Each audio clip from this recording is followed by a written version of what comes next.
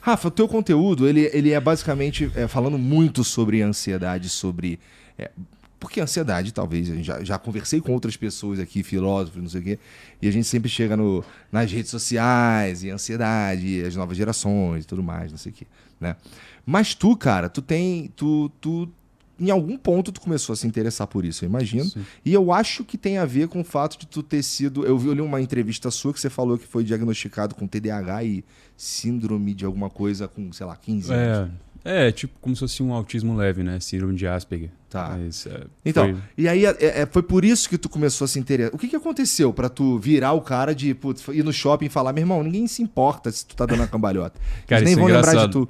Porque é uma frase que eu gosto muito, cara, que é você, o, maior ato criativo é criar você mesmo, né? Então você faz o vídeo, eu faço o vídeo, na verdade, para mim mesmo, muitas vezes. É isso que muitas vezes a galera.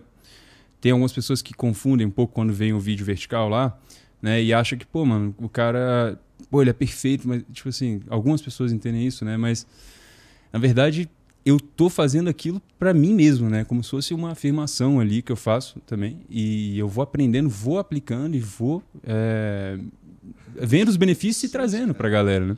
Então, esse vídeo do shopping, eu sempre fui extremamente ansioso socialmente. Ansiedade social mesmo, tipo assim. Eu lembro com 15 anos, é, mas na infância, desde a infância, já tinha algum um comportamento meio esquisito, assim, muito agitado às vezes e dificuldade de distração. Ao mesmo tempo, é, como eu cresci num ambiente que me moldou muito para a questão de, de, estudos, assim, meu, meu pai é cientista, minha mãe conseguiu, ela sempre estudava comigo também e tudo. Então acabou que eu consegui, né, eu tive esses freios, uhum. assim, né, mas várias coisas, assim, que a gente pode ir conversando que confirmam isso, né. Eu conversei com alguns profissionais muito bons médicos e realmente parece que tem o mesmo. Agora o diagnóstico ele é clínico, né? Ou seja, tipo, você vê não tem um exame que você confirma o uhum, TDAH. Uhum. Então eu não me prendo muito ao diagnóstico, mas é legal para você se autoconhecer entender assim, uhum. sabe? Então é o vídeo do shopping, é, é com 15 anos eu já fui pô, parar no, no hospital com crise de ansiedade, mediram minha pressão, deu pressão alta e aí a médica achou que eu estava com problema de, de, pressão alta. Eu lembro depois, com 17, 18 anos, eu fiquei com um holter é, 24 horas para ver se eu tinha problema cardíaco. Então eu fiquei um pouco hipocondríaco também e, e sempre com muita ansiedade. E, e na adolescência consumindo muita pornografia também. Porque essa questão dopamina. E ninguém falava que fazia mal, né, mano? Falavam é, até que total. fazia bem, falavam que fazia bem. Eu, pô. É. Bom, eu lembro que no máximo os caras davam uma zoada. Na minha é, época, tu tem, tu tem 30 e pouco, né? Agora eu tenho 30. É, não, é. eu tenho 39. Então, é. vamos lá. Na minha época, os caras zoavam, falavam que ia ficar com a mão peluda, não sei o quê. Mas é, era zoeirinha. Não, tinha, assim, não é. tinha. Eu acho que não tinha nem. Bom, informação com certeza não tinha, né? Mas eu não sei se tinha nem o estudo, nem sei, tá ligado? É, não, não tinha, não, não tinha.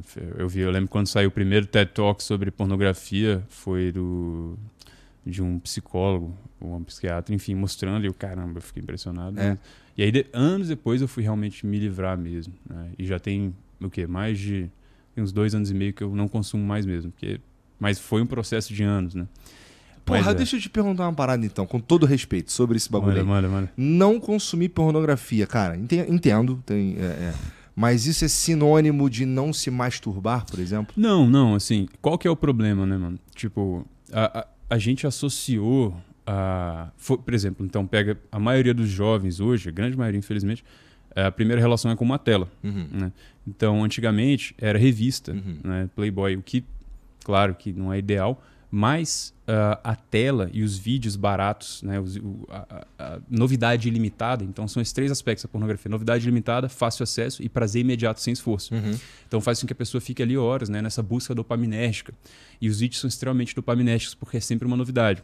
Só que a pessoa está gerando uma neuroplasticidade, né, ou seja, o cérebro está se moldando ali para uma tela. Então, é a única, o único sentido que ela está usando é o visual. Né? Então, só, que, só que uma experiência com uma outra pessoa, ela vai ter vários né? uhum, né? outros, uhum. né? toque, cheiro, tudo. E aí a, a, pessoa ela aprendeu daquela forma, e aí, pô, a, aí fala, beleza, mano, eu vou parar então com pornografia, vou só, só me masturbar. Qual que é o problema disso? O cérebro ele, ele vai associar ainda, vai se masturbar de uma forma muito luxuriosa, assim, sabe? Sem trazer a parte eh, cri-cri, assim, da, da mas, mas, assim, fica muito ainda. São aqueles mesmos circuitos, Entendi. aqueles mesmos faz tão, Faz mal também, é isso que está dizendo. Acaba que sim. E muitas vezes volta para pornografia, experiência Entendi. própria. Quando eu tentava cortar a pornografia aos meus 20 e poucos anos. Eu falava, não, então eu vou só me masturbar. E aí, pô, vou acabar voltando, né? Porque se- Uhum. eu sou muito a favor dessa ideia de você cortar mesmo, sabe? Cortar é, esse estímulo e deixar o corpo.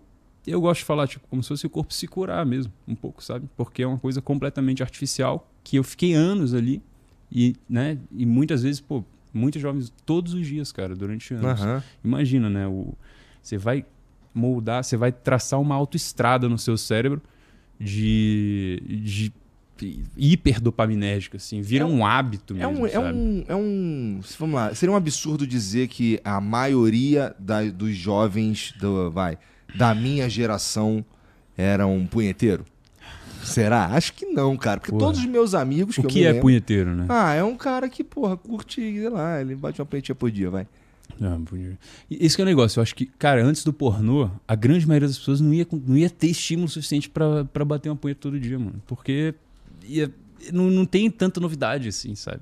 Aí, com... Enfim... Eu tô lembrando de, eu tô lembrando de um moleque aqui, como é que era. O pornô, o cara tem sempre novidade. Ele fica todo dia É, lá primeiro preso, que era difícil, assim, a facilidade hoje em dia ela é determinante, na verdade, né? É, eu tava pensando, inclusive, como é que a, a- a molecada, essa, a geração que tá chegando agora na adolescência, vai de fato descobrir é, como é que vai ser. Porque assim, eu sou pai de duas meninas, uma de 11 e uma de 9. Então tá chegando uma época que é, esse será um assunto, né? A gente vai trocar essas ideias. Já estamos começando a trocar, pelo menos com a mais velha. Então, é, eu fico pensando, uma das coisas que eu fico que eu gostaria de, de- de entender como funciona pra molecada é como eles descobrem, sabe, as coisas. Porque pra mim foi, sei lá, tô trocando ideia na escola uma vez e, e, sei lá, um dia eu tava com uma revista na mão e coisas que eu não fui, que eu não entendia no começo. E putz, hoje tem muita informação por aí Sim. fácil e de qualidade ou não, né? Cara, eu me pergunto muito isso. Pô, se eu for ter filho um dia, como é que eu vou fazer? Como é que eu vou né, limitar? Eu acho que é. Cara, é, a gente tem controle até certo ponto, Uhum. né? O que, que a gente tem controle? As nossas, nossas ações, como a gente reage à vida. Eu acho que é muito exemplo. Geralmente você vê no, no restaurante, né? a- é, quando a criança tá um tempão lá na tela, os pais geralmente também estão no celular. Não julgando, né, mano? Claro que eu já também fiquei no celular num restaurante, sabe? Mas não é o ideal, não é o ideal. É. E aí. Pois é, é, é estranho é, é, a relação que a gente sai hoje com, com, com os amigos e tudo mais, senta pra, num bar pra, pra trocar uma ideia, pega o celular e, putz, fica perdido naquele. é, ou então de noite antes de dormir. Uma das Total. piores coisas que dá pra tu fazer, inclusive, é tu ficar zapeando o celular antes de dormir. Tem até o nome, é procrastinação da hora de dormir. Bedtime procrastination. É como se fosse uma vingança pelo tempo perdido, né? Então a pessoa, pô, ela não conseguiu render no dia. Não, mano, agora eu vou ficar por uma, duas horas aqui Pô, eu, eu sinto. fritando no celular. Eu já fiz muito isso. Eu sinto